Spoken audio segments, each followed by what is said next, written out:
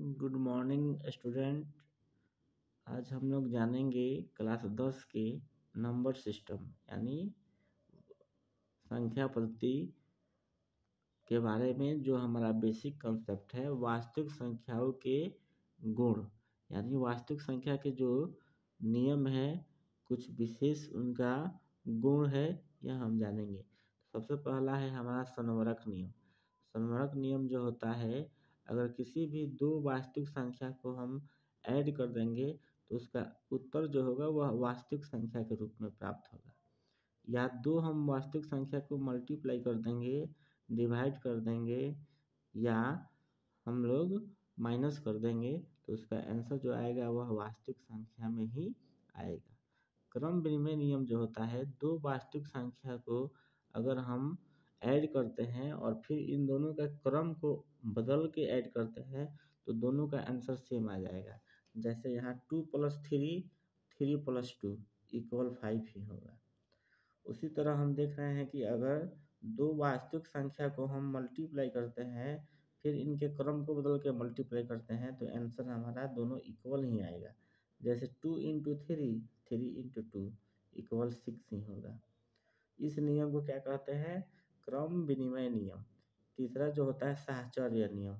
यानी यदि तीन वास्तविक संख्या हो और उसमें से पहले दो वास्तविक संख्या को जोड़ने के बाद तीसरे को जोड़ा जाए और दूसरी स्थिति में हम अंतिम दो अंकों, दो वास्तविक संख्या को जोड़ के पहले को जोड़ा जाए तो इन दोनों का जो आंसर आएगा, वह इक्वल होगा।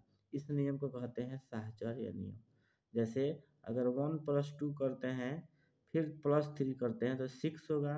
और यहाँ जब हम देखते हैं कि अंतिम टू प्लस थ्री करेंगे तो फाइव और वन सिक्स।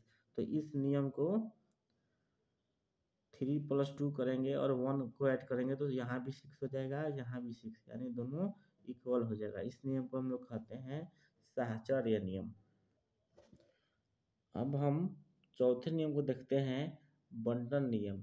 यानी यह एक ऐसा नियम होता है कि अगर दो वास्तविक संख्या के जोड़ में तीसरे नंबर से, तीसरे वास्तविक संख्या से गुणा करते हैं तो यह जो ए है, यह दोनों के साथ मल्टीप्लाई होके प्लस में विभाजित हो जाएगा। जैसे देख लीजिए यहाँ पे।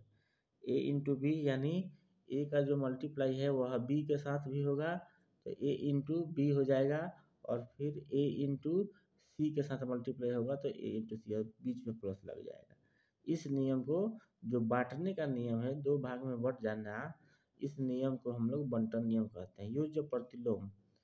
अगर किसी नंबर में ऐसा कोई नंबर ऐड कर दे, जिससे इसका रिज़ल्ट ज़ीरो हो जाए तो जिस नंबर को हम लोग ऐड करेंगे, यह नंबर योज्य प्रतिलोम कहलाएगा। यानी कोई वास्तविक संख्या ए है तो उसका योज्य प्रतिलोम जो होगा, माइनस ए होगा। अब हम लोग बात करेंगे विभाजता की जाँच, यानी दो से विभाजता की जाँच। अगर किसी संख्या के इकाई स्थान पर ज़ीरो हो, टू हो, फोर हो, सिक्स हो और एट हो, अगर किसी भी संख्या के इकाई स्थान पर zero, two, four, six, eight हो तो वह सारी संख्याएँ क्रमशः दो से पूरा पूरा विभाजित होती है। एग्ज़ाम्पल में ये देख सकते हैं। यहाँ पे इकाई स्थान पर सिक्स है एट है ज़ीरो है। तो यह तीनों नंबर जो होगा, वह दो से पूरा पूरा विभाजित होगा। तीन से विभाजता की जाँच। अगर किसी संख्या के अंकों का योग, अंकों को जोड़कर यदि तीन से विभाजित हो जाए तो वह पूरा संख्या क्या होता है? तीन से विभाजित होता है। जैसे यह एक संख्या है, दो हज़ार सात सौ पैंतालीस। इन सभी अंकों को हम जोड़ते हैं।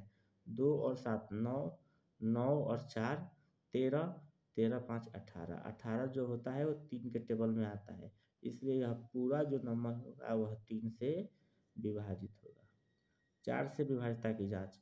अगर किसी संख्या के अंतिम दो अंक यानी इकाई और दहाई से बनी संख्या अगर चार के टेबल में आए या चार से विभाजित हो जाए तो यह पूरी संख्या चार से विभाजित या अंतिम इकाई और दहाई के अंक शून्य हो तो यह पूरी संख्या भी चार से विभाजित होती है।